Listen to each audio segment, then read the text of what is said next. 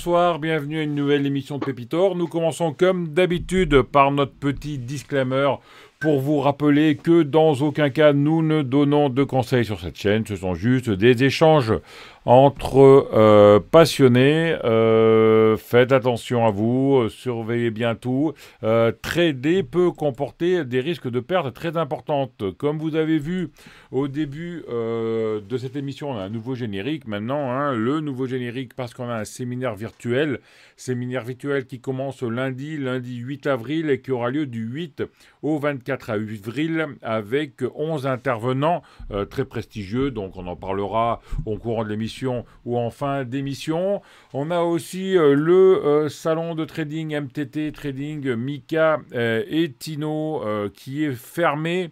à cause de l'énorme succès qu'il a rencontré et qu'on ouvre exceptionnellement à partir de ce soir pendant 10 jours, donc du 5 avril au 25 avril, au, du, 5, du 5 avril au 15 avril, voilà. Et on retrouve nos, euh, nos acolytes ce soir, c'est euh, Tino Bourse maintenant, c'est ça hein Bonsoir Tino, comment vas-tu? Ouais. ouais, ça va, merci. Bonjour tout le monde, bonsoir tout le monde. Et euh, Laros, toujours trading. C'est ça, moi j'ai pas changé. De chez, de chez Urutia, donc voilà, merci d'être venu. Donc moi je me suis aperçu depuis pas mal de temps en fait que les, les, les, les, investisseurs euh, quittent un peu euh, le marché action pour aller sur le marché ETF, et euh, les traders quittent un peu le marché action pour aller sur le marché indice ou crypto ou même, même forex qui revient, qui revient en force maintenant. Vous, vous en pensez quoi de, de, de, ce chamboulement un peu, de, de laisser un peu, délaisser un peu les actions actuellement? Bah, Moi je pense que c'est vrai, c'est un phénomène qui est réel. Euh, l'année dernière, aux États-Unis, c'est la première année où euh, la, gestion passive est passée au-dessus de la gestion active en termes de volume et d'échange. Donc ça, c'est quand même un gros changement. Et je pense qu'on y viendra, nous, dans les années à venir, en France et en Europe. Euh, voilà, après, c'est vrai que les ETF, un, il y a plusieurs avantages, mais un des avantages, c'est que ça permet d'être investi sur les marchés sans se prendre trop la tête, sans y passer non plus trop de temps. Donc on n'a pas besoin d'être un trader, il suffit d'investir un petit peu tous les mois euh, pour préparer sa retraite. C'est le, gros credo de, euh, des ETF. Et ça, c'est clair. Moi, je le vois aussi avec mes clients. Aujourd'hui, on va investir euh, mensuellement et puis après, on va le faire de façon un peu plus poussée quand il y aura des points d'entrée intéressants à moyen et long terme. Donc, je pense que c'est une stratégie qui, qui, se vaut. Après, à mon avis, c'est pas la seule stratégie qu'il faut mettre en place. Il faut que ça soit dans une approche globale avec si on a un peu de temps, faire un peu de trading parce qu'on va pouvoir certainement surperformer ce que font les ETF. Je pense que les ETF, ça va être plutôt une gestion du risque et du moindre risque. On va avoir peu de chances de se tromper, sauf si vraiment on, va que sur une seule zone géographique et qu'on n'est pas sur la bonne zone, ce qui pourra, ce qui, ce qui sera peut-être pas le cas des actions où on va être euh, forcément plus concentré puisqu'on va pas être sur euh, il y a peu de chances qu'on soit sur 40 actions dans son portefeuille, donc on va avoir une prise de risque qui est plus importante. Mais, euh, mais voilà, je pense que c'est une bonne stratégie. D'accord. Et, en tout cas, les volumes vont, vont continuer à augmenter, à mon sens, là-dessus. ETF, gestion passive, mais est-ce qu'on peut faire de la, gestion active aussi en ETF Ouais. Faire des arbitrages euh, Complètement. Il faut, de toute façon, il faut. C'est, euh, enfin, moi, à mon sens, il ne faut pas, faut pas investir tous les mois sur le MSI World et puis après laisser ça traîner. Quand, euh, quand on revient sur des points d'entrée intéressants, c'est à ce moment-là qu'il faut surpondérer sa ligne. Euh, quand euh, on est sur une zone comme la Chine, typiquement, il y a, trois ans, et qu'on voit que ça prend du temps à redémarrer après le Covid, ben il faut changer de, secteur. Il faut aller peut-être sur l'Inde, il faut aller sur d'autres d'autres secteurs géographiques si on veut rester investi sur les pays émergents. Il faut, il faut, il faut quand même se renseigner. Il faut pas ça peut paraître simple l'investissement, mais ça l'est pas. Je pense qu'il faut être curieux, il faut, faut se renseigner. Alors après, tout le monde n'a pas le temps, il a envie de le faire, mais si on veut le faire proprement, il faut quand même s'y investir un minimum, à mon sens. Je sais pas ce que tu en penses, Tino, mais. Oh, non, mais je te rejoins complètement. Hein. Et, je, pense d'ailleurs euh, que de toute façon, la performance qui s'est faite sur euh, les indices américains et, le, et le MSI World, qui n'est en fait qu'un indice américain, finalement, aujourd'hui, en termes de pondération, puisqu'il euh, est majoritairement constitué d'actions américaines qui sont elles-mêmes majoritairement des actions tech. Euh, donc je, pense mais je peux me tromper, hein, mais je pense que l'investisseur qui va ETF euh, passif, entre guillemets, euh, même si je vais y revenir euh, sur, le fait que c'est tout sauf passif finalement, un ETF, qu'importe. Euh, je pense que l'investisseur qui va surperformer les dix prochaines années va être un investisseur potentiellement toujours sur ETF, mais qui va avoir un petit peu plus de flexibilité, un petit peu mm. plus de... Voilà, qui va allouer son capital sur des zones intelligentes, intéressantes, etc. etc. Effectivement, euh, je rejoins Olivier, euh, il y a des secteurs, euh, de, notamment des pays émergents, qui sont non plus la croissance de demain, mais la croissance d'aujourd'hui. Mhm. Et donc, je pense que oui, l'investisseur moyen-long terme, il va devoir de plus en plus allouer son capital. Alors, souvent, on dit, ouais, mais c'est des pays à risque. Oui, il y a des pays à risque, bien sûr. En même temps, euh, il y a quelques années, euh, j'entendais certains investisseurs qui disaient moi la seule poche un peu risquée entre guillemets de mon portefeuille ou un peu exotique plutôt que risquée que jaloux c'est pour la Russie. Parce que là sur la Russie il n'y aura jamais de guerre avec la Russie ça mmh. risque rien. Bon, on va quand même pas faire la guerre à Vladimir Poutine il faudrait être fou pour faire ça. Et puis quelques années plus tard on s'est rendu compte qu'on n'est pas loin de la faire donc tout ça pour dire que de toute façon l'investissement euh, en règle générale, est risqué, de toute façon. De mais, mais de toute façon, ne rien faire, c'est risqué aussi. C'est même mhm. pas risqué de rien faire, c'est être sûr que ton argent va, va perdre sa valeur. C'est encore plus risqué. Encore plus risqué, puisque c'est une certitude finalement. Euh, donc, alors après, il faut le faire de manière intelligente, de manière pondérée. Je pense qu'en effet, il faut avoir une liste. Euh, une liste d'ETF diversifiés géographiquement, qui sont tous associés sur le long terme que ce soit des pays émergents ou pas. Euh, des ETF diversifiés également en termes de secteurs, qui sont tous haussiers également euh, sur le moyen long terme. Et je dirais même des ETF, et on pourra en parler, on pourra en toucher deux mots également, qui sont diversifiés en termes de, je trouve jamais le mot exact qu'on peut dire, tu sais, euh, en termes de, de, taille sur lesquelles, de, capitalisation sur lesquelles il va être investi.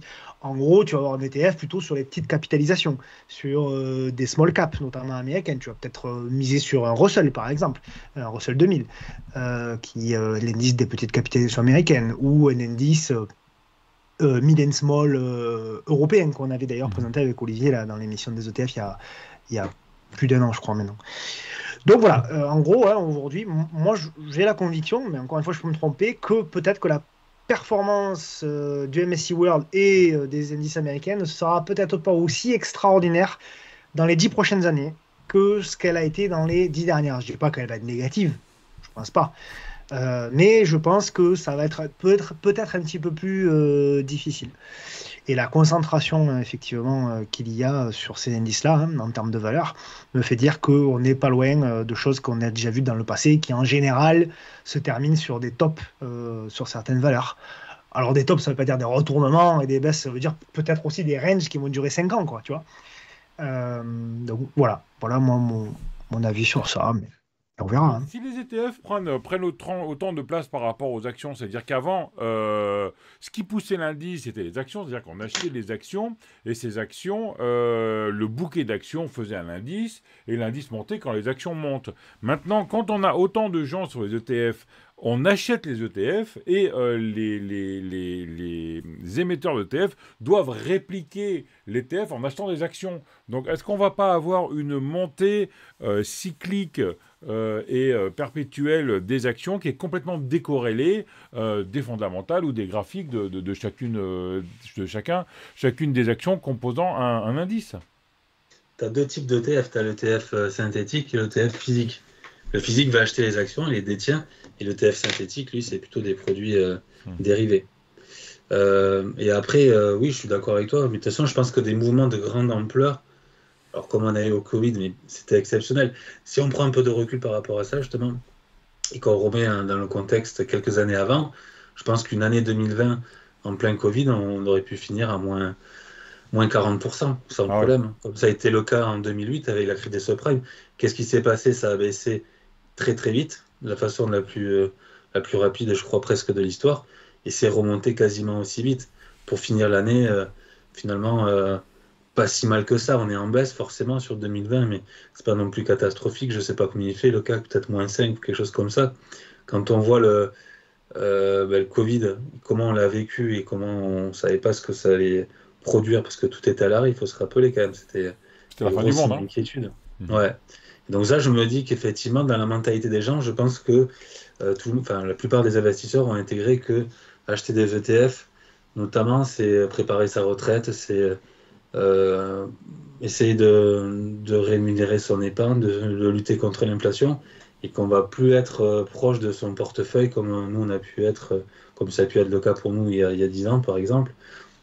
Ou aujourd'hui, ben, on se dit, si ça baisse, finalement, est-ce que c'est pas une opportunité de renforcer ou d'acheter ou de compléter ma ligne Alors qu'il y a 10 ans, on se serait peut-être dit, euh, ben, c'est plutôt le moment de vendre. D'accord. Ah, donc ça, ça pourrait éviter une, grosse chute. et les indices actuellement, bulle ou pas bulle finalement? Enfin, si, vous voulez, on peut peut-être commencer par, euh, par définir ce qu'est une bulle au niveau graphique, au niveau fondamental. Je sais pas, Tino par exemple, ou, Olivier? Vas-y, vas-y, Tino. Bon, une bulle, tu as, tu as, plusieurs euh, explications. D'abord, je, souris parce que c'est un peu ce qu'on vit un peu sur les réseaux sociaux. C'est-à-dire que tu es en bulle quand tu considères qu'il y a des, euh, des, des notions fondamentales ne sont plus valables. Mm. En gros, tu estimes, euh, comme c'est le cas aujourd'hui sur les réseaux sociaux, que euh, sur le plan fondamental, le PER n'a plus de sens aujourd'hui. Que le PER, ça ne veut plus rien dire. Qu'aujourd'hui, tu n'évalues juste une action que par sa croissance. C'est là où des anciens, entre guillemets, hein, c'est pas mm. du tout péjoratif, bien au contraire, hein, c'est c'est euh, plutôt quelque chose que moi j'estime beaucoup. des anciens comme comme David Renan ou Guillaume Rouvier, que tu connais euh, mmh. aussi, vont eux avoir beaucoup plus de recul parce qu'ils ont l'expérience des marchés. Euh, et, donc, euh, et donc voilà. Donc ça c'est la première chose, généralement, c'est quand tu, tu, tu, valorises plutôt la croissance que les bénéfices. Tu valorises aussi les bénéfices, mais pas que.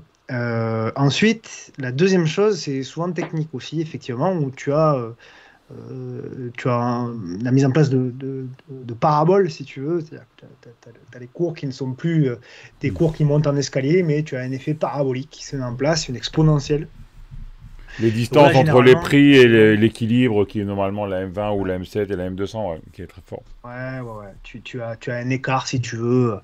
Tu as, ou on peut le mesurer aussi, euh, par exemple, encore une fois, hein, Guillaume Rouvier, il le mesure avec euh, Hibou, il le mesure avec une droite de régression linéaire et il mesure avec des écarts types mmh. sur une échelle de, de temps assez longue. Et d'ailleurs, sur le S&P 500, je crois qu'on est à 1,5 écart type au-dessus de la droite moyenne de régression linéaire. Bref, tout ça pour dire en effet que tu commences quand même à être euh, sur des niveaux, alors bulle ou pas bulle, je sais pas. Encore une fois, euh, détecter une bulle, malheureusement, ça ne te donne pas le timing de vente. Puisque c'est quand on est dans une bulle, on est bien. Quand on est dans la bulle, on est bien. Le problème, c'est quand elle éclate. Le problème, c'est quand tu as le retournement. Et c'est là où l'analyse technique. Tu sais, euh, tu as des actions, moi je me souviens très bien et d'ailleurs, je, lui rends, euh, je lui rends hommage. Bon, c'est un ami, mais, mais David, moi, je l'ai connu, ça fait un moment que je connais David. Et David, déjà, en, pas dire de conneries, mais avant le Covid, déjà, avant le Covid, il parlait de téléperformance, David, téléperformance, hein, et il disait à l'époque, que c'était trop cher et qu'ils ne comprenaient pas la valorisation. Moi, je m'en souviens, de, on en a discuté déjà avant le Covid. Et il me disait déjà, je, comprends toujours pas, la, ça monte, ouais, c'est haussier, tout ça, mais et, après, elle a continué de monter, même après le Covid, elle s'est cassée elle, et elle a fait. Et c'est bien après, et c'est il y a seulement, je euh, je sais pas, 12 à 18 mois, là, qu'elle s'est retournée, qu'elle est passée de 400 à 80 euros, quoi. Mmh. Tu vois, elle, était divisée par 5. Donc, le problème, si tu veux, c'est que tu, tu peux avoir un décalage qui met du temps entre le fondamental, la réalité du fondamental et la réalité technique. Et les mêmes qui vont d'ailleurs te dire, qui disaient que par exemple, des, actions comme Nvidia à 400 dollars, euh, qu'elles étaient euh, trop chères, font des vidéos aujourd'hui pour te dire qu'Amine, elle est pas chère, et te feront des vidéos demain à 400 en te disant euh, que même à 400, c'est redevenu trop cher. Tu vois, voilà, c'est là aussi où il faut faire attention. Il faut faire attention aussi aux, aux phrases qui sont fausses et qui sont répétées, qui sont acquises comme euh, réelles. Euh, on en parlait euh, C'est Goebbels, ça, non? C'est la politique de Goebbels, c'est ça, non? Ah, je sais pas, force de répéter la même chose, ça rentre dans, les mœurs et ça devient quelque chose d'acquis, quoi. Et du moment où la base, elle est, elle est acquise, après, on peut faire le développement qu'on veut, mais c'est ça. Eh bien, écoute, je vais te faire une démonstration que vous connaissez très certainement. chaque fois que je pose un graphique euh, de statistiques sur euh, le CAC, par exemple, hein, et que euh, je montre, par exemple, le phénomène actuel ou possible ou potentiel, peu importe, on s'en fout de ça, de l'effet de bulle sur le, CAC, tu as toujours, mais toujours, sur tous les postes, des gens qui me disent oui, mais tu peux pas comparer le CAC d'aujourd'hui, la bulle d'aujourd'hui du CAC à la bulle de 2000, parce que dans le CAC 40 de 2000, il n'y avait quasiment que des valeurs tech qui ne gagnaient pas d'argent. Tu le vois systématiquement cette phrase. Oui, mais en 2000, c'était, il n'y avait que des valeurs tech, il n'y avait que des euh, Alcatel, des machins. C'était que ça sur le CAC 40, des entreprises tech qui ne gagnaient pas d'argent. Ok, très bien. Bon, ben écoute, moi je te montre. Hein, euh, je vais faire un petit partage si je le trouve. Voilà. Je vais te montrer. Il y a un, site qui est, très intéressant, là, c'est très marrant. Alors, j'ai trouvé que sur le CAC, il faudrait que je trouve sur le Dow Jones, mais j'imagine que ça va être la même chose. Euh, je ne sais pas si vous voyez mon écran. Oui, c'est bon, ça y est. Ouais, ouais, très bon. Alors, c'est ce site-là, bn1.org, là, bon. Et vous tapez la date. Là, j'ai tapé le 1er janvier 2000 pour avoir la composition du CAC 40 au 1er janvier 2000. On ne peut pas faire mieux. Hein. Eh ben, regarde les actions qu'il y a. Air Liquide, Airbus, Alstom, ArcelorMittal, AXA, BNP, Bouygues, Capgemini, Carrefour, Crédit Agricole, Danone, je fais les, plus connus, hein, Dassault euh, Eden... Non, pardon, je dis une connerie. Parce que ça, c'est pas ça, c'est celui d'aujourd'hui. Je vais taper. Oui, oui, parce que là, c'est ArcelorMittal en 2000, il y a un truc qui va pas là, ouais. Ouais, ça c'est celui d'aujourd'hui. Du coup, c'était pas mes jours. Là, je mets un jour au 1er janvier 2000, pardon. je refais. Accord euh, aérospatial AGF, Air Liquide, Alcatel, le fameux, Alstom, Aventis, AXA, BNP, Bouygues, Canal+, Capgemini, Carrefour, Casino, Danone, Dexia, Kering, L'Oréal, Lafarge, Lagardère, Legrand, LVMH, Michelin, Orange, Peugeot, Renault, Saint-Gobain, Sanofi, Schneider, Société Générale, Sodexo, ST Micro qui s'appelait à l'époque euh, Thomson Micro, Suez, Thales, Total, Valeo et Vivendi. Hmm. Tu vois, tu vois à quel point il était gavé de tech. Hein. Il n'y a, que de la tech là. On voit, on voit bien que de la tech et qui ne gagnait pas d'argent. Il y avait euh, Vivendi, euh, Alcatel et Orange, quoi. STM. Et, et, et, ouais, STM encore. STM, oui, STM, ouais. Et, euh, ouais, et Orange, c'était Télécom. Encore, ouais, c'était Wanadoo à l'époque. Enfin, je pense qu'en 2000, c'était quand Wanadoo s'est fait racheter par France Télécom et s'est appelé Orange. Hein, mais si on marque 99, il devait y avoir Wanadoo et Web Optical, non Ou je sais pas. Orange a été Il faudrait regarder, mais tu vois, là où je voulais, là où je voulais simplement, voilà, c'est que tu vois, quand même, c'était pas un, CAC 40 qui était plein à 95% de valeurs tech qui gagnaient pas leur vie. C'est pas vrai, c'est faux. Et je n'ai pas regardé, hein, je vais être honnête, j'ai pas regardé sur le Jones en 2000, mais je serais curieux d'avoir la composition du Jones en 2000. Et je suis à peu près persuadé qu'il n'y avait pas que des valeurs tech dans, la, dans, dans le Jones. D'accord? Et pour autant, le Dow il a fait sa bulle et derrière, et il s'est fait démonter aussi. Hein. Euh, je rappelle que Société Générale valait dans les 140 euros, euh, si je ne dis pas de conneries, hein, de Société Générale valait dans les 140 euros euh, en 2000. 142 hein. euros, je crois, le top, ou non, plus même, 150. Hein. Bon, c'était pas une valeur tech, Société Générale, que je sache. Bon. Donc euh, là aussi, tu vois, c'est pour ça que c'est toujours important de regarder vraiment dans le détail. Alors oui, oui mais le Nasdaq, il y avait des valeurs tech. Oui, mais le Nasdaq, le Nasdaq, il y a toujours des valeurs tech dans la Nasdaq, ça n'a pas changé. Bon, donc tout ça pour dire que, euh, pour en revenir à ta question, euh, avant tout, une bulle, qu'on soit au début, au milieu ou à la fin, ça, personne ne peut le savoir et tu t'aperçois de la taille de la bulle que plusieurs mois après.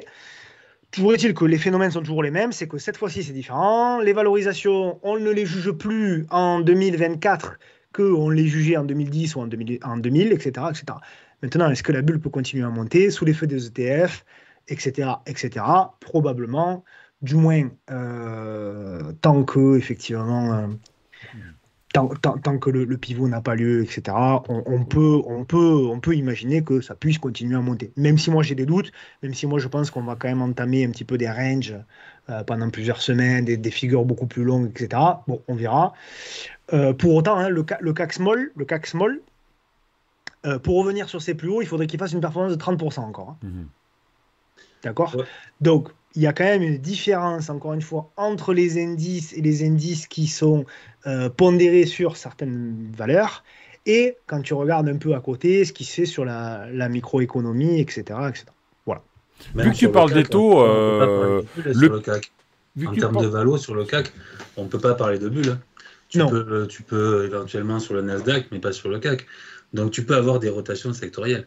Après, de toute façon, aujourd'hui, si tu veux surperformer le marché, c'est quoi le plus important? C'est le timing. Soit tu essaies d'anticiper les choses avant tout le monde, mais avec un timing raisonnable avant que les autres s'en rendent compte. Parce que si tu as raison le premier, mais que personne ne voit, euh, ça ne va pas te servir à grand-chose.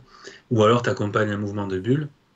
Et c'est là où tu vas, bah, quand, Nvidia, on va reprendre cet exemple, mais elle a fait x2 en, en quoi En 6 mois, alors qu'elle venait déjà de faire euh, x2 certainement en mm. quelques semaines ou quelques mois. Donc c'est comme ça que tu vas surperformer, c'est en accompagnant les tendances ou en essayant de les anticiper juste avant qu'elles partent. Et tu n'es plus trop sur, cette notion de bulle. Après, il faut, il faut faire attention euh, avant que la bulle éclate de pouvoir sortir à ce moment-là. Ou au moins au début. En parlant du, du, pivot des taux, euh, un taux à 4%, euh, c'est pas un taux qui est, qui est, qui est très haut à comparer à comparaison des taux des années 80, on était à 14-15%. Euh, on voit que ben, on parle de la baisse des taux, mais d'un autre côté, on voit que tous les indicateurs sont au vert, euh, que ben, on augmente les taux pour refroidir l'économie. En fait, ben, on n'arrive pas à refroidir l'économie et l'inflation est toujours là. donc, est-ce qu'on pourrait s'imaginer qu'on vive dans une, dans, une période assez longue de, de, taux pas haut, mais de taux à 4%, quoi? C'est ouais, alors c'est possible, mais pour moi, ça va pas durer trop trop longtemps. Ça pourrait être dangereux parce que euh, les salaires malheureusement suivent pas. Les prix euh, montent et ça c'est la grosse différence avec une époque qu'on a connue qui était assez, lointaine, enfin connue ou pas, mais où on avait des taux d'emprunt à 10% et par contre les euh, salaires montaient de 15% par an. Donc ça c'est pas dangereux. Là aujourd'hui, ce qui se passe, c'est qu'on a les salaires qui montent pas depuis des années euh, on a les, monnaies qui perdent aussi en valeur. Donc je pense pas que, pour moi, ça serait trop dangereux que ça dure euh, trop longtemps. Et puis après, des fois, il y a un amalgame qui est fait euh, entre l'inflation, qui, imaginons si l'inflation, elle, revient l'année prochaine, je sais pas, sur 2 ou 3% il faut se dire que c'est encore 2 ou 3% de hausse par rapport à une année passée où on a connu 5 ou 6% de hausse. Et ça, les gens, euh, des fois, l'oublient. C'est pas parce qu'elle baisse qu'on va voir les prix baisser. Au contraire, c'est juste qu'elle va ralentir et qu'elle a connu en plus une hausse assez forte dans les mois, dans les années passées. C'est important parce que au final, on n'est pas, on n'est jamais sur des niveaux de baisse. On est simplement sur des niveaux de très forte hausse ou de ralentissement de la hausse. D'accord. Donc il y aura pivot, euh, il y aura pivot de, de la Fed et de, de la BCE euh, courant 24, peut-être au pire début, au, au, pire 25. Et donc là, euh, Tino, tu Cette année, moi je pense. Hein. Comment? Moi je pense cette année. Hein. D'accord.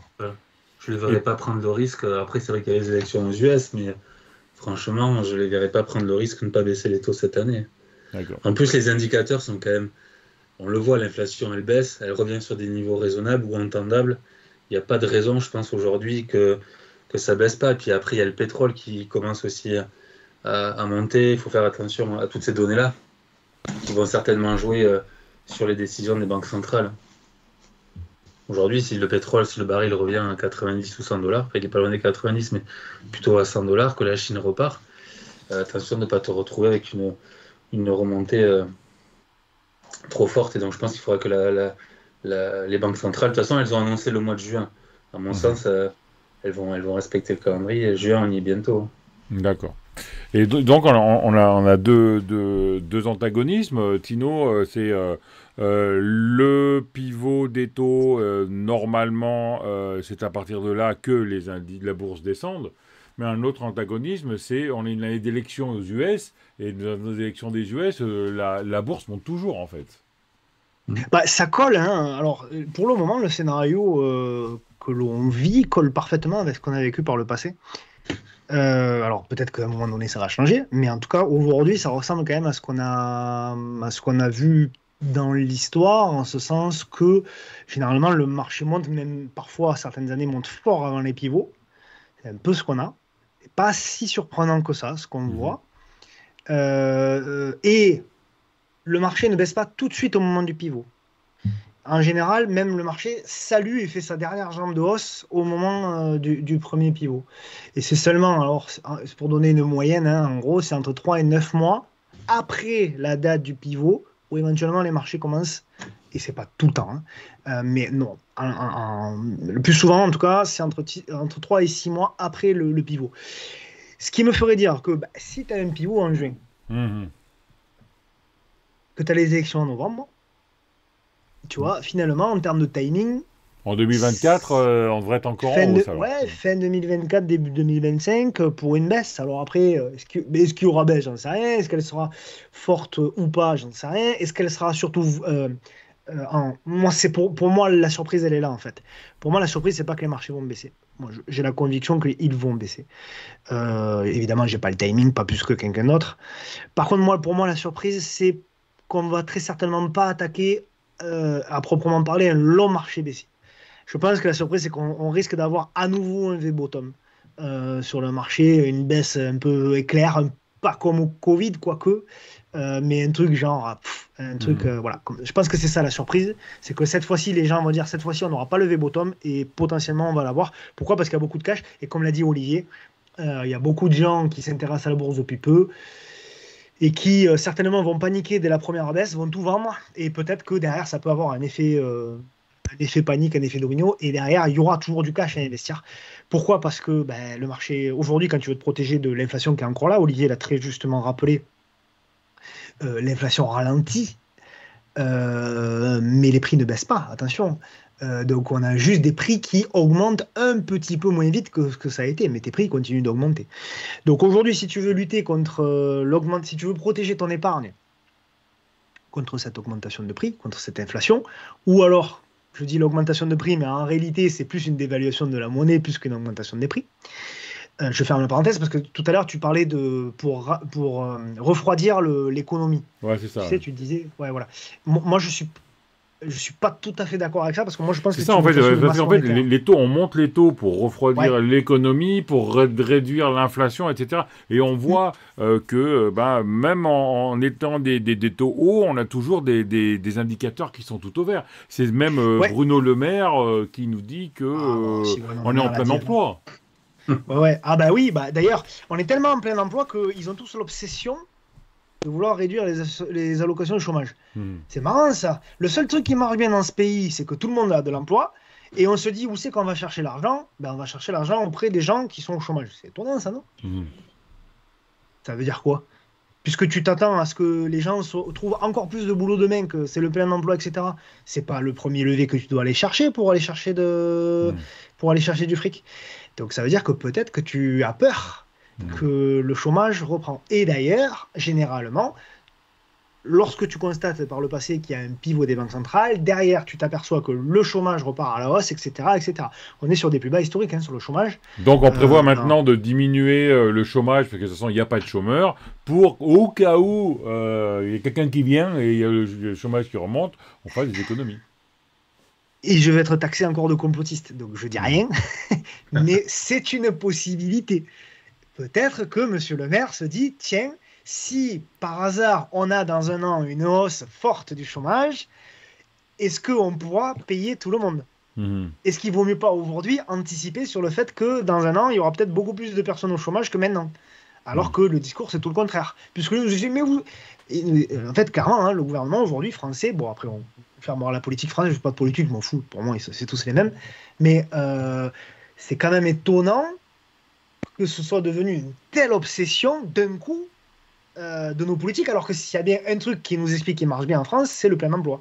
Donc c'est quand même étonnant qu'une assurance, je dis bien une assurance, puisque tu cotises sur ton bulletin de salaire, d'accord Contrairement à d'autres aides où tu cotises pas, là tu cotises, le travailleur cotise. Quand même étonnant que d'un coup, il y ait cette obsession euh, à vouloir euh, réduire cette, euh, cette assurance allocation chômage. Mais le, le, fondateur de ChatGPT a dit que de toute façon, avec l'évolution et de, l'intelligence artificielle, il y aura de moins en moins de postes de travail. Donc il y aura de moins en moins de gens en travail, il y aura de plus en plus de chômeurs, mais il y aura de plus en plus de richesses. Donc on va arriver vers un revenu universel. Et aux dernières élections, je dis pas de bêtises, euh, que ce soit de l'extrême gauche à l'extrême droite, en passant par le centre, tout le monde était plus ou moins d'accord pour mettre en place un revenu universel. Enfin, pas pour mettre en place, mais personne n'était contre l'idée de mettre en place un revenu universel. Vous en pensez quoi, vous, de, ce possible revenu universel? Je pense que c'est probable qu'on y arrive. Après, on laissera toujours le choix aux gens de vivre qu'avec le revenu universel ou de compléter avec un, un travail, parce qu'il n'y aura pas de travail pour tout le monde, et que certains accepteront euh, de ne pas travailler et se contenteront du revenu universel, et d'autres considéreront qu'ils n'auront pas assez et iront compléter avec euh, le travail de disponible. De toute façon, euh, entre la population qui augmente, l'intelligence artificielle, euh, euh, les machines, euh, oui, forcément, à un moment donné, euh, ça va manquer de travail pour tout le monde. Enfin, pas pour tout le monde, pardon, mais pour euh, une grosse partie de la population. Donc, euh, il va falloir. euh, Donc, tout le monde aura- ne sera pas obligé de, de travailler. C'est ce que disait euh, Karl Schwab teste, hein. dans- dans son, jeu- dans son livre Covid-19, le, le- le grand essai. Il disait les gens euh, ne- n'auront rien, seront très contents et vivront plus heureux. quoi. Je sais pas si revenu universel. euh, en tout cas, les gens auront la possibilité de choisir de se contenter de ça ou travailler. Ils le testent euh, au Danemark ou en Suède. Ouais. Je sais plus dans quel pays nordique. Mm. Donc, à mon avis, ça va arriver. Après, Et en Suisse, la- ils l'ont mis au référendum et les Suisses ont dit non. Il y Ouais, a après, les mois, Suisses, ils ont le SMIC à 3500. Ouais. Euh, je sais pas si tu leur proposes un revenu universel à, à 2000 euros. euh, je pas Ouais, mais attends, le- un SMIC à 3500, mais le sandwich à 60 euros. hein. Donc, euh, Ouais, il en reste quand même. hein. Ouais, ils, sont, ils sont bien en général quand même, ceux qui partent. Il y a d'ailleurs beaucoup de Français de plus en plus qui partent travailler en Suisse. ah bah, Après, pour le tu sais, le revenu royal, universel- frontaliers. Les frontaliers, c'est Hein royal. Oui, oui, c'est sûr. Mm. Euh, Quoique maintenant, les prix à la frontière, ils ont quand même beaucoup augmenté. Euh, tu sais, ce, ce- ce- ce débat-là sur le, sur le revenu universel, ça m'a rappelé il y a quelques années. Ça, ça te rappelle pas toi, il y a quelques années? Ça me rappelle le même débat que celui sur les 35 heures, où euh, les gens nous expliquaient que euh, ben, s'il y avait 8 boulots euh, à euh, 39 heures, Hmm. ben, si on les passait tous à 35, on, en aurait, on aurait de l'emploi pour la 9 Ouais, personne. ça, c'était. euh, Et ça me rappelle exactement ça. Et Comment en fait, s'appelait? C'était la, la fille à Delors. euh, C'était. euh, pas Martine Aubry? Oui, euh, de Lille. Ouais, Ouais. la fille à Delors. Oui, c'est ça. Euh, et en fait, on s'est rendu compte que c'était pas vrai du tout. Et on s'est rendu compte que c'était même le contraire, puisqu'on s'est rendu compte que finalement, c'est l'emploi qui crée l'emploi. C'est justement, c'est quand tu crées de la richesse que tu crées de l'emploi. C'est pas quand tu la partages. Malheureusement, malheureusement, malgré l'utopie euh, qu'on aimerait tous, hein, moi aussi, j'aimerais bien. En général, c'est plutôt le contraire. Et d'ailleurs, euh, bon, on a parlé précédemment là en off, mais, euh, mais, mais bon, pour moi, c'est toujours la même chose. Aujourd'hui, en fait, on cherche à faire des économies. C'est toujours ça. La réflexion européenne et française, et même franco-française, c'est toujours essayer de faire des économies. Et en réalité, jamais il y en a un parmi euh, de droite ou de gauche qui va se dire purée, mais comment, au lieu de faire des économies, on va essayer de faire de l'argent dans ce pays. Comment on va essayer de pousser les gens à aller bosser? Comment on va essayer d'encourager les gens à aller bosser? Comment on va récompenser le mec qui se lève? Comment dans ce pays, il est possible que, et je n'ai rien contre personne encore, on a parlé de cet exemple précédemment, mais comment il est possible qu'un fonctionnaire qui ne risque strictement rien, un fonctionnaire euh, milieu de carrière, un poste moyen, gagne 2500 euros, admettons, par mois, comment c'est possible que ce mec-là soit imposé à 10%, alors que le gars qui lâche tout, qui monte sa société, il va être imposé à combien de À 40, à 50, à 60 Mhm. et qui se lève tous les jours et qui fait le double d'heure. Comment c'est possible dans ce pays qu'on rémunère aussi peu le risque? Pas possible. C'est pas moi, qui- il n'y a pas que moi qui le dis. Hein. Tu as des, Mhm. encore une fois des mecs comme Charles, Charles Gave qui le disent très bien. Ils ont raison pour le coup. Tant qu'on aura cette mentalité-là, tant qu'on se dira pas. Et, et en plus, on- tu le vois bien. Aujourd'hui, en fait, c'est les gens qui gagnent pas beaucoup d'argent qui tapent sur les gens qui en gagnent encore moins en ne rien foutant. C'est Mhm. ça en fait aujourd'hui la guerre.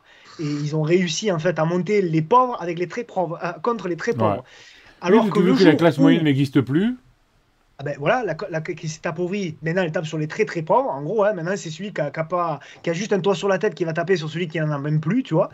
Et en fait, aujourd'hui, on, on, on, on va en fait. Le problème de ce pays, en fait, c'est que c'est pas, c'est pas que ceux qui foutent rien gagnent trop d'argent, c'est que ceux qui vont travailler ne gagnent pas assez. Hmm. Encore une fois, je vous l'ai repris l'exemple précédemment. Si le mec qui gagne 1000 euros à rien faire voit son voisin en face qui se lève le matin pour 4, il va aller travailler. il va aller travailler. T'as pas besoin de lui dire on va te couper ton allocation. Il va aller travailler. Le problème, c'est qu'il regarde le matin, il voit son voisin, il se lève pour 1002, qui paye des impôts et qui a pas d'aide. Donc là, le gars, il se dit, non, mais il rigole. il est là le problème de ce pays. Et ouais, mais si, tu gagnes 4000, hein. si tu gagnes 4000, ça veut dire qu'en fait, il faut que tu génères 8000. Puisqu'il y a, y a 4000 qui va. Et, pour générer 8000, eh ben, c'est pas facile. Hein. Tu génères 8000 parce qu'on a beaucoup d'impôts aussi en France. Hmm. Oui, c'est ça. Ça, on est à la limite. Hein. Ah bah, pour moi, le en, Espagne, c'est pareil. Hein. C'est pareil. Hein. C'est pas seulement la France, hein, c'est le, c'est en fait c'est euh, la, c'est pas l'Occident, c'est l'Europe, je dirais. L'Europe qui est entre le capitalisme et le socialisme et le communisme en fait. C'est-à-dire qu'en fait, on a d'un côté euh, le, l'ultra-capitalisme aux, US où euh, ben, tu gagnes 4000 plus les 4000 que tu donnes à l'État mais tu dois tout payer. Et ici on a on a 4000 et bientôt on nous dit qu'on n'aura pas de retraite quoi. Et voilà, c'est ça. Moi, pour moi, il y, a tout d'un peu résumé. Moi, je pense que le principal problème de ce pays et tous les autres problèmes en découlent en suivant, c'est la rémunération du travail. Le jour où tu rémunéreras correctement les gens qui bossent, tout le monde bossera. Tu auras même moins d'insécurité dans le pays, en Europe, etc. L'insécurité explose. Mais souvent, l'insécurité, c'est lié à quoi? C'est lié à la pauvreté. C'est lié à la pauvreté, l'insécurité. Malheureusement, c'est souvent ça. Euh, tu vas en aussi gagner de l'argent, gagner de l'argent facile. Euh, si, tu, si, tu, manges bien, si, tes gosses ils mangent bien, si tu leur payes des vacances, etc., t'as pas envie d'aller voler ton voisin, t'as pas envie d'aller taper sur, euh, sur la mamie d'à côté et tout. Enfin, je veux dire, enfin, je crois en l'être. Tu vois, la bonne foi de l'être humain quand même. Donc je pense que, encore une fois, et, tout le monde a envie de travailler, mais en même temps, et c'est un peu le, le problème. Et je comprends aussi hein, les jeunes d'aujourd'hui qui te disent ben moi, je suis désolé, mais j'ai pas envie de me lever le matin pour aller gagner 1200 euros. Hein. je comprends, hein. franchement, Denis, tu peux que les comprendre, c'est pour les jeunes. Et moi, je, et on le disait aussi, moi je suis admiratif. il n'y a pas tout de bien, évidemment, notamment sur la finance. Des fois, il y a des choses qu'ils exagèrent un petit peu. Mais je trouve quand même il y a un bon élan. Quoi. Je trouve que ces jeunes, mm. ils ont quand même conscience qu'il va falloir qu'ils se démerdent, il va falloir qu'ils épargnent, il va falloir qu'ils. etc. etc. Donc moi, je trouve que c'est quand même des choses positives. Voilà. Bon. Ah ouais, les, jeunes d'aujourd'hui sont, sont, très très euh, responsables par rapport à ça. Ils le savent qu'ils n'auront pas de retraite, donc ils font tout. Ben, quand on va exploser les propres firmes, hein, les propres firmes, c'est quoi en fait? J'ai enregistré Nicolas euh, ce week-end. Les propres firmes, en fait, c'est euh, des jeunes qui n'ont pas de capital et qui passent des challenges pour gérer des, des, des, des gros volumes pour avoir des gros bénéfices. Et, et ça veut dire qu'il y a vraiment, même si on n'a pas la culture finance. Moi, je vois, ma fille, elle a 18 ans, euh, euh, il y a des copains à elle qui sont dans les cryptos à 18 ans, quoi. Ah, ils vont le compte crypto avant le livret A, c'est sûr. Bah, c'est, ça, c'est générationnel. Ouais, mais c'est pas si négatif. Enfin, je trouve que c'est pas si négatif. Alors, il n'y a pas que du bon, attention, hein, bien sûr. Mais je trouve que c'est pas si. Je, trouve que c'est pas si négatif que ça, honnêtement. Non, non, ça part d'un bon élan. Après, ouais. faire attention à ceux qui te font croire que voilà, tu vas être. Euh, ah, ça, oui. Libre financièrement en versant 100 euros par mois à 40 ans. Hmm. Euh, c'est ça le problème. Mais bon. Euh, d'un autre côté, les, les, jeunes et les gens en règle générale se forment de plus en plus avec euh, des émissions comme la tienne, Denis ou celle de Tino ou, sur Twitter. Donc ils vont forcément s'en rendre compte. La vulgarisation, ouais. Non, mais je trouve qu'il y, y, a des bonnes choses et il faut, c'est toujours pareil, les, les, anciennes générations critiquent les nouvelles en disant qu'ils sont moins intelligents qu'eux, puis au final, ils se rendent compte que finalement, ils sont pas si cons que ça. voilà, la nouvelle génération, je les trouve très très bons. Hein. Euh, là, je vois, j'ai euh, mon gendre, moi je pensais que c'était un glandos, on a commencé à parler avec lui, mais non, en fait, euh, parce qu'il dit, tu travailles pas, mais qu'est-ce que tu fais? Il me dit, ah non, mais en fait, moi je travaille la nuit, et là on va monter des serveurs pour faire du hosting, etc., etc. Et le mec, en fait, ils, ils veulent pas rentrer dans, les, dans le système, dans le système en disant je vais rentrer dans le système, je vais commencer à travailler à 18 ans au supermarché parce que j'ai pas de diplôme, etc. Et je finirai à, à, 40 ans, je gagnerai 2500 euros. Non, le mec il dit bah, j'ai pas de diplôme, eh ben, je fais ce que je sais à faire, je suis au gaming, j'ai monté un serveur, je monte un serveur, on va monter un truc, on monte des serveurs. Enfin, c'est une autre façon de, de, de, de, de penser. C'est. Euh, c'est un peu, enfin moi, moi et nous, c'est ce qu'on fait parce qu'on est, on est des entrepreneurs, mais c'est chercher, essayer de trouver des, des, des, chemins qui sont pas, qui sont hors des sentiers battus. Et maintenant, les jeunes, ils savent le trouver. Ça, moi, ça me fait plaisir. Ah, ils ont moins peur que nos générations de se lancer. Ouais. Ça, c'est sûr. Après, il y aura pas de, tout le monde ne pourra pas être entrepreneur. Mm. Non. Ça, c'est sûr. Mais euh, en tout cas, ça, c'est, c'est bien. Ils se, ils se bougent pour. Euh, pour plaider leur cause. Après, arrêter, ne pas avoir de retraite, c'est pareil, on en parlait un petit peu en off tout à l'heure. J'ai du mal à, le concevoir. À, moins de, à moins de sacrifier une génération. Ou de trouver des fonds ailleurs, ce qui n'est pas le cas aujourd'hui. C'est pas possible avec 5% d'endettement en France. C'est pas possible. On va péter le livret A pour payer les retraites. Je crois que c'est même pas suffisant parce qu'il me semble que c'est 70 ou 80 000 euros d'endettement par personne en France. Ah Mais ils veulent créer un fonds, un fonds en fait européen. Là, j'ai vu, enfin, c'était une idée en tout cas sur la table, etc. Hein. En fait, pour épargner, pour que les, Européens puissent épargner sur un livret européen, en gros, et ah ce, livret-là servirait en fait pour. Euh, alors pourquoi On ne sait jamais trop, mais. ah oui, pour, euh, être investi sur les marchés la, la, transition euh, climatique, je crois. Ah, il y, en a des transitions, ça, ils en font des transitions, ça, c'est sûr. Voilà. Bah, tout ça, ça va soutenir les marchés. Donc, tu vois, le CAC à 10 000, le CAC à 15 000, le CAC à 20 000. Donc, euh, Olivier, le CAC à 10 000 pour la fin de l'année. Hein, et Tino, le pivot, c'est ça, non, non. Moi, je, ouais, je, je, vois, je vois des, je, pense que quand même les essentiels des, l'essentiel des hausses sont faites déjà sur le premier trimestre. Après, bien sûr, ça peut continuer à monter, mais je pense qu'on va construire des figures intermédiaires. Et je pense que voilà, on aura une correction. Euh, alors, s'il n'y a pas d'événement, je pense que cette correction euh, majeure, elle attendra un petit peu. Et, et, après, s'il y a un événement, après, un événement, c'est un événement. Hein. Mmh, c'est une guerre. Euh, si, on, si on envahit les, le territoire russe, je doute que les marchés continuent de. Euh, tu crois vraiment, toi mais... Attends, mais euh, Les Balkans. Mais alors, tu vois, moi, je crois que la, la, la, probabilité qu'on rentre en guerre contre la Russie est de 0,0000000. ça me fait peur que tu me dis ça, Denis, moi. Ça me fait peur que tu me dis ça. Ah, mais ouais. Mais c'est pour, pour faire peur. C'est comme. On a bien connu ça. On t'a fait peur pour le Covid. Après, on t'a fait peur parce que. Ça a marché euh, pour le Covid. Tu vas pas. Ça a marché pour le Covid. Ouais, mais après, euh, faites gaffe, vous n'aurez pas d'énergie cet hiver. Finalement, il y a l'énergie. Après, il y a la sécheresse. Après, il y a tout ça. Ah, mais c'est. On le connaît, on le connaît. Le... On, commence à le connaître, le patron, hein, comment il fait. Hein. Bon. Ouais, mais bon. Moi, ça me fait toujours un peu peur, quand même. Non. Non, non, non. De toute façon, moi j'ai plus de 50 ans, donc j'irai pas. Hein. C'est toi, euh, Tino. Hein moi je suis trop vieux, moi c'est fini aussi. Et j'ai mal au dos en plus, alors reste tomber. Ouais, c'est bon. qui c'est qui va y aller alors Bon, bon euh, bah, c'est bien, on a fait une quarantaine de minutes. Vous voulez rajouter quelque chose? Parce qu'on avait dit beaucoup de choses en off.